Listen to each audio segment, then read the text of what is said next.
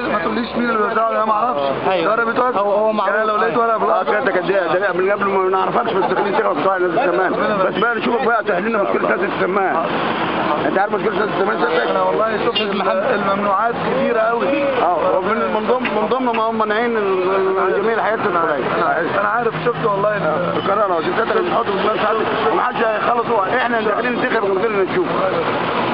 نشوف كل نادي السمان ما بس حط بقى مشكلتهم في دماغ سيادتك وتعمل لنا نقابل سيادتك فين بعد كده؟ قال لك ناجح إن شاء الله ناجح. بفضل الله ناجح إن شاء الله بامر الله. بس المهم قلت مشكلة نادي السمان في بالك لأنه بتاع زي الحواس اللي كان مبوظها حاضر يا سيدي حاضر. امانه أمانة بتجي- أمانة لما طالعين قرار بقى لهم أسبوع يدخل المرافق فيه عارف عارف. ربنا يعني في وقت زي ده سيادتك هنا إن شاء الله ربنا نقدر نعمل واجبنا ساعتك كنت واجب أنا عارف. مشكله نادي السمان تحاول تحلها لنا. حاضر. حاضر. يلا فندم. هي المشكلة الوحيدة. لا هو اطلاق الشائعات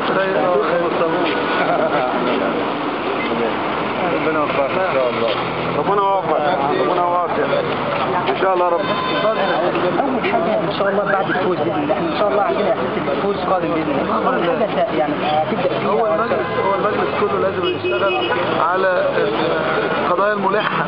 ما ينفعش يبقى لسه الناس بتعاني من أزمات حاده يعني ما ينفعش مصر مصر العملاقة دي يبقى الناس بتجري تدور على انبوبه وتقتل بعض. ما ينفعش ما ينفعش مصر يبقى فيها أزمات تموينية. ما ينفعش يبقى فيها فرصة إن حد يتخطف ولا حد الكلام ده. فهي هي تاني هتبقى الحاجات ملحة. تاخد وقت الازمات الخدمية اللي تلتمس المواطن تاخد البسيط أول خطوة آه. بس يبقى في نفس الوقت أنت بتحضر لرؤية بقى تترسم مع كل الأعضاء مش واحد واحدة منفرد بيها. كل الناس ترسم رؤية لمستقبل مصر وتبتدي تحط خطة لتنفيذها بأمانة وبوضوح يعني. طب يعني دي إحنا امال على مستوى الاستاذ محمد الصاوي الوزير السابق المهتم بالثقافة أنا أنا المهتم- الثقافه وتظل أولويتي وأنا مقتنع إن الثقافة معنيه ببناء الإنسان اللي قادر على بناء ال- الحضارة كلها بكل أركانها. إحنا أنا أنت عارف مؤسسي حزب الحضارة أيوه أيوه أيوه. ومنحاز أول حاجة هتقدمها لأبنائك أو أبناء دايرتك هنا في دايره في دايره الهرم. هم هم عندهم أولويات هيقولوها هم بنفسهم. أنا أقل مشاكل أنا ده المنهج. أنا ده المنهج اللي قلته إن لابد لأي نائب أي نائب في أي مكان بيحترم نفسه إنه لا يتصور إنه واصي على الناس.